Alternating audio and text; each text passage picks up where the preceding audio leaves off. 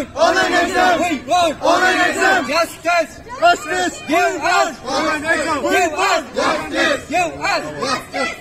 Mic जाएगी connect अस्सलाम वालेकुम वरहमतुल्लाहि वबरकातुहू हम गांधी कॉलेज के स्टूडेंट हैं B B B A first year first second sem हमारा ऑनलाइन एग्ज़ाम लिया जा रहा है लेकिन हम प्रोटेस्ट कर हमारा ऑफलाइन एग्ज़ाम लिया जा रहा है सॉरी हम प्रोटेस्ट कर रहे हैं कि हमारा ऑनलाइन एग्ज़ाम लिया जाए। बिकॉज़ अभी जो सिचुएशन है वो ठीक नहीं है इस वजह से हमारे प्रिक्यूशन भी ले रहे हैं बट केसेस आप जैसा कि देख पा रहे हैं कि अभी केसेस बढ़ते जा रहे हैं। डे बाय डे राइज हो रहे हैं केसेस अभी लुधियाना में भी कॉलेज खोले गए थे दो गवर्नमेंट कॉलेज में ट्वेंटी पीपल जो है वो पॉजिटिव थे कोरोना पॉजिटिव और उनकी वजह से बहुत पॉजिटिव हुए होंगे, जो कि अभी हाईलाइट नहीं हुआ है मीडिया में। अब अगर हम यहाँ पे एग्ज़ाम दे रहे हैं ऑनलाइन एग्ज़ाम अगर हम देंगे ऑफलाइन एग्ज़ाम सॉरी अगर देंगे, अब क्या गारंटी है कि वहाँ पे कोई कोविड पेशेंट नहीं होगा?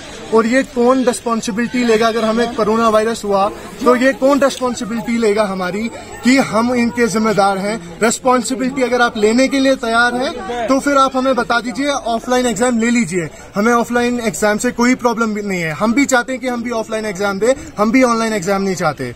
हम भी ऑफलाइन चाहते बट सिचुएशन तो देखिए पहले आप क्या है। अभी वायरस फैल रहा है, इस वजह से हम आपसे रिक्वेस्ट कर रहे हैं इस टाइम आप ऑनलाइन एग्जामिनेशन लें। और हमारा सिलेबस भी अभी इनकम्प्लीट है। डेट शीट रिलीज़ कर रहे हैं। कॉलेज वालों ने अभी सिलेबस कंप्लीट नहीं कराया है। आप प्लीज़ ये रिक्वेस्ट है आपसे कि आप हमारे ऑनलाइन एग्ज़ाम लें। Thank you so much